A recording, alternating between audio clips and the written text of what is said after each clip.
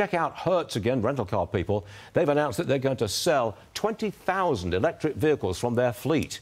Brian, they say they're going to use the money to buy more gas powered vehicles to, to meet customer demand. Because when people show up at Hertz and they say, We're out of gas cars, will you take an EV? People say, No, I don't want an EV. I don't know if I'll get there. And they're tired of hearing that. So Hertz, but the other piece of this is when one of those cars gets damaged, it's incredibly expensive to fix an EV. Right. They don't want that expense. How many uh, caucus goers in Iowa will drive there in an electric vehicle with a minus 10 degree temperature? And a, and a foot or two of snow? Uh, right. No, they're in a gas powered truck, Stuart, and they're happy they have it. Got it. Thanks, Brian.